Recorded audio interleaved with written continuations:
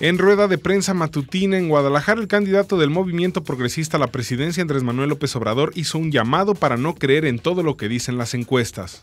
No le crean a las encuestas que hacen algunos medios, están copeteadas. Y en el caso de Jalisco, pues es una falta de respeto el que ponga a Enrique en el cuarto lugar. Además, López Obrador hizo un llamado a los consejeros del IFE para que fiscalicen los recursos de Peña Nieto porque considera que ya rebasó el tope de gasto de campaña. Señaló que él no tiene problemas para transparentar los recursos.